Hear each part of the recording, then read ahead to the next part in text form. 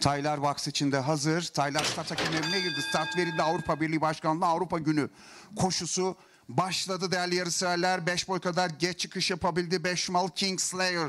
İlk metelerle birlikte Evet Lavender artırıp geldi liderliği aldı bir boy fark yaptı dışarıdan dolandı iç kulvarda 10 numaralı Shield Meydan ikinciliğe girdi. 1 numaralı Anadolu Show üçüncülüğe girdi. 2 boy kadar geride 4 numaralı Getto. 1 boy kadar geride 8 numaralı Mind and Life sırasıyla 1000 metre start yerine doğru gidiyor Taylar. Mind and Life'ın 2 boy kadar gerisinde 3 numaralı Continuous. 2,5 boy kadar geride 7 numaralı Mesmerizing. Hemen dışına hamle yapan 5 numaralı Kingslayer'ın gayretleri var.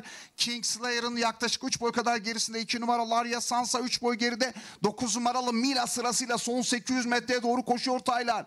Yaklaşık 2 boy farklı liderliğini 6 numaralı Lavender koruyor. 10 numaralı Shield Maiden'ın bir boy geride iç kulvardaki 1 numaralı Anadolu Show'un gayretleri var. Bir boy geride 4 numaralı Get onun hemen bir boy 1,5 boy kadar gerisinde 8 numaralı Mind and Life bir boy kadar geride 3 numaralı Continuous bir boy kadar geride 5 numaralı King Slayer sırasıyla son viraj dönülmek üzere düzüye bariyer dibinden 2-2,5 boy farklı 6 numaralı Lavender önde çıktı. İçeride 1 numaralı Anadolu Show. Orta kulvarda 4 numaralı Get orta kulvara doğru hamle yapmaya çalışan 8 numaralı My Night Life'ın gayretleri var. Dışarıdan da 3 numaralı Continuous'un son 200 metreye doğru bir boy farklı 6 numaralı Lavender önde geliyor. Dışarıdan 3 numaralı Continuous saldırıyor. Liderliği alıyor Continuous. 1,5-2 boy kadar fark yapıyor. Lavender içeriden 4 numaralı Get de ortadan gelmeye çalışıyorlar. 3 numaralı Continuous önde Lavender geliyor ama 3 numaralı Continuous fotoyu buluyor 6 numaralı Lavender ikinci 4 numaralı Getto üçüncü 8 numaralı Mind and Life dördüncü 9 numaralı Mila da beşinci oldu.